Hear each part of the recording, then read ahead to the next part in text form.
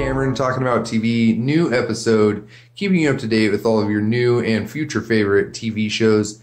Please make sure to hit that like and subscribe button to get all the new updates on your updated, updated Navy, Navy, TV needs. Got another Game of Thrones prequel Blood Moon video for you here. And I'm very excited about this one. I've done a ton of research and I'm ready to knock this video out of the park for you. Uh, we are bound to step into spoiler territory because we are going to cover everything. We're going to give you a background history, then we're going to go over the history of the Age of the Dawn, the war between the Children of the Forest and the First Men completely. So, with that being said, spoiler alert, as we will cover all of the possible plot points. Westeros history go. So, the background history that I wanted to go over is the First Men are crossing the Arm of Dorne, which is a southern connection between Essos and Westeros. And we started fighting with the Children of the Forest. Now, fast forward one hammer of waters and approximately 4,000 years of time, and that connection between Essos and Westeros is severed. So that leaves us with the current map that we have, where we're looking at Essos, the Narrow Sea, and then Westeros. And then back to the Dawn Age and the war between the First Men and the Children of the Forest, uh, present day, as far as for the prequel speaking goes. Um, the First Men were cutting down the Children of the Forest and um, moving, pushing them back like it was going out of style. Uh, you know, we had the strategy, the tactics, iron, and armor. So really, it was no match. They're smaller in stature, and they did have magic. But as far as brute force, we were able to push our way through. Now, obviously, cutting down weirwood trees as we go, and they really didn't like that. Um, that is a source of their magic. So they created, in a bit of a sore loser move, I would say, the Night King. Um, in the books, it did go down a little bit of a different route, and we are certainly going to cover that in just a bit. Um, but they created the, the Night King, and the others were born. Now, so White Walkers and Whites uh, were moving about the country, and that's when the Long Night began. Um, now, as Old Nan said a couple videos ago, uh, you know, it lasted a generation, and children died in their beds rather than trying to get up to go eat anything because they were afraid of death from, you know, the Whites or the White Walkers as they were really running rampant in Westeros at that time. And everybody really found themselves getting their arses handed to them. So we did the only thing that we could do, and we made a pact. The children of the forest and the first men met at the Isle of Faces, and we agreed. We were going to leave them um, into the forest lands and not encroach any further. We were going to stop cutting down weirwood trees, and we asked that they teach us some of their magic. Uh, and we would teach them, you know, some of the blacksmithing type stuff that we had as far as abilities. So then it was a mutually beneficial agreement and peace treaty. Um, and then together we agreed that we were going to put an end to the long night. So the last hero, it is said, uh, you know, Azor Ahai prophecy type stuff. We there's a lot of uh, foil hat stuff. We can get into that further as well. But uh, the last hero and the children of the forest uh, basically push the whites and the others to the lands of always winter in the north and that is when the night's watch was created now a very possible uh, regular set for the prequel show could be Collins Moat uh, and it's basically the night watch's southern station um, prior to the wall being built and pushing the others back. Um, and, and it was basically at the most narrow point of northern Westeros, uh, just above what's called as the neck. Um, and it's Collins Moat. And I really feel like if it's a war between, you know, the children of the forest, the first man, and the others, that would certainly be a regular crossing point that we're going to see in the upcoming show, which is exciting.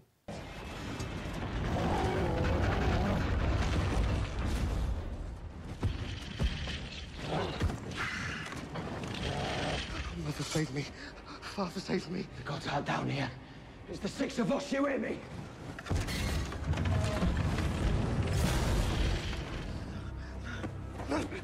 Light gathers. Now my watch begins. It shall not end until my death. I shall take no wife, hold no lands, father no children. I shall wear no crowns and win no glory. I shall live and die by my post. I am the sword in the darkness. I am the watcher on the walls. I am the shield The guard surrounds the men. I place my life and honor in the night's watch. For this night and all the nights to come. Such an epic scene there at the wall in the Night's Watch, which is exactly what we're talking about here.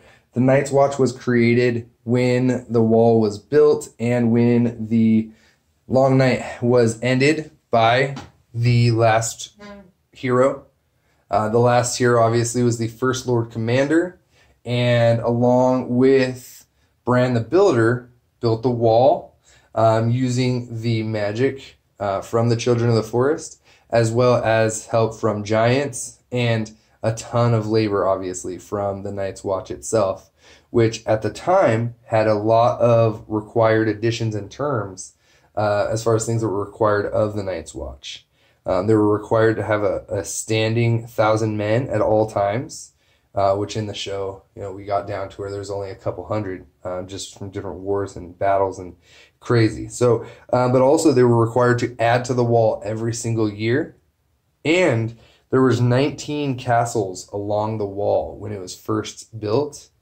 Um, but most of that ended, though, uh, with the 13th Lord Commander of the Night's Watch. And this is kind of what we are getting to when we were first talking about the Night King earlier, is in the book, it's mentioned that the Night King was actually the 13th Lord Commander who fell in love with a white who he saw past the wall, beyond the wall. She had skin as white as the moon, and her eyes were as blue as stars. And he loved her even though her skin was as cold as ice. Uh, now, he brought her to the castle and named himself king and named her queen, and he ruled for 13 years. So I don't know that that's going to be something that they're going to cover in the show without some sort of time jump, I would say. I mean, unless they're planning on giving us like 15 seasons, in which, why didn't they do that with Game of Thrones? Am I right? But anyways, so yeah, I don't think that they're gonna do that specifically, but it obviously is a huge part of Game of Thrones history, so I wanted to go over that.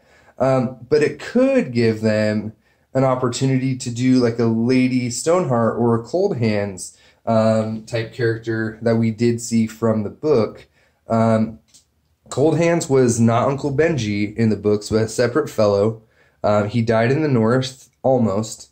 The Children of the Forest brought him back, um, but he never really cleared up from that resurrection fog that we saw Jon really, you know, was in when he first came back. Um, and he stays in the North and in the lands of always winter and really just helps out the children of the forest and the three-eyed ravens um, through history as obviously he was undead uh, and then another uh, reference from the book as a character like that would be lady stoneheart um, which is really exciting and not a ton of people who just watched the show know this but um, lady stoneheart was actually catelyn stark and she was found three days after the red wedding so her body definitely had started to decompose. And Beric Dondarrion found her and gave her the kiss of death, uh, the kiss of life. Uh, she was almost like Arya in that, as she was really just a cold assassin out for vengeance. She remembers.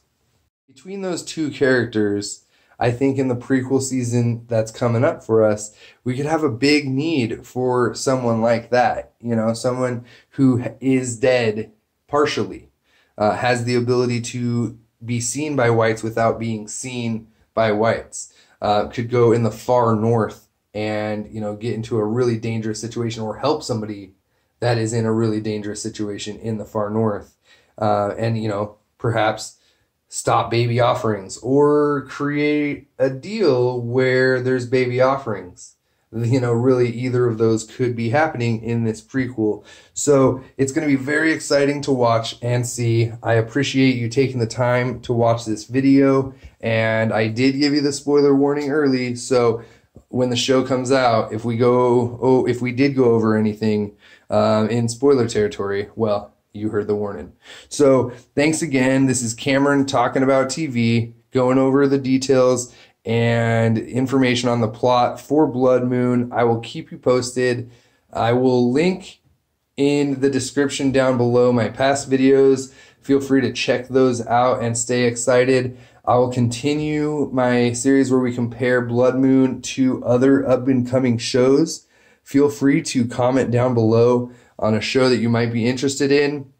I know Watchmen's coming out. That's going to be a big name on a big platform. A couple other shows for Amazon and Hulu that we need to go into and discuss further as well. So I look forward to covering everything. Let's get the conversation going down in the comments. Feel free to like, subscribe, and share the bejesus out of this. I really do appreciate any and all extra attention. And I uh, really just want to have a conversation with you guys and share my excitement about Blood Moon. So thanks again for watching. Have a wonderful night and look out for that next video coming soon.